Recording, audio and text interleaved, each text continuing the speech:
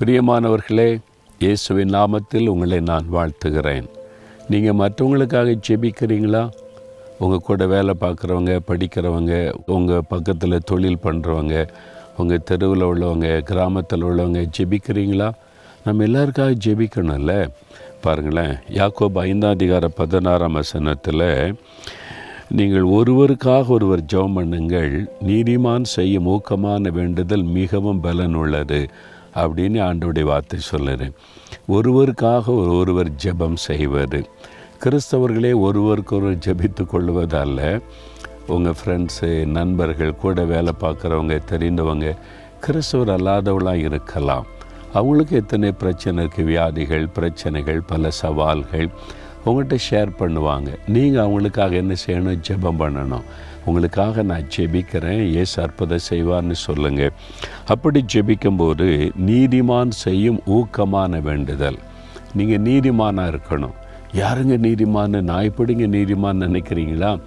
இயேசுவின் ரத்தத்தினால் கழுவப்பட்டவங்க தான் நீதிமான்கள்.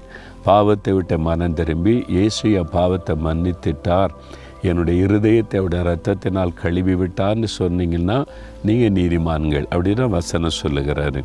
அப்போது நீங்கள் விசுவாசத்தோடு சொல்லலாம் இயேசுவே என் பாவத்தை மன்னித்து என்னை நீதிமான் ஆக்கி விட்டீர் நான் என் சிநேகிதருக்காக ஜெபிக்கிறேன் என் கூட வேலை பார்க்குறவங்களுக்கு ஆட்சேபிக்கிறேன்னு ஜெபிக்கலாம். விசுவாசத்தோட ஜெபிங்க ஊக்கத்தோட ஜெபிக்கணும். கடமைக்காக ஜெபிப்பதில் கட்டாயம் ஒரு அற்புதம் நடக்கணும். என்னுடைய சிநேகிதிக்கு நீங்கள் இதை செய்யணும் என் ஃப்ரெண்டுக்கு நீங்கள் இதை செய்யணும். அண்டவரே அவங்க வருத்தத்தில் இருக்கிறாங்க. கட்டாயம் ஒரு அற்புதம் செய்யணும். ஊக்கமாக கருத்தாக ஜெபிச்சிட்டிங்கன்னா ஆண்டவர் அற்புதம் செய்திருவார். நீங்கள் அவங்கள்ட்ட போய் சொல்லலாம். உனக்காக நான் ஆண்டவரிடத்தில் பிரார்த்தனை பண்ணியிருக்கிறேன். ஆண்டவர் அற்புதம் செய்வார். நீ பயப்படுறபடி நடக்காது நீ. இன்றைக்கு உங்களுக்கு தெரிஞ்ச ஃப்ரெண்ட்ஸு நண்பர்கள் யாராவது ஒருத்தர்கிட்ட சொல்லுவீங்களா? உங்களுக்காக நான் பிரார்த்தனை பண்ணுறேன் ஏதாவது காரியம் இருக்குதா? உங்களுக்காக ஜெபிக்க போகிறேன்னு சொல்லி ஜெபிக்கணும்.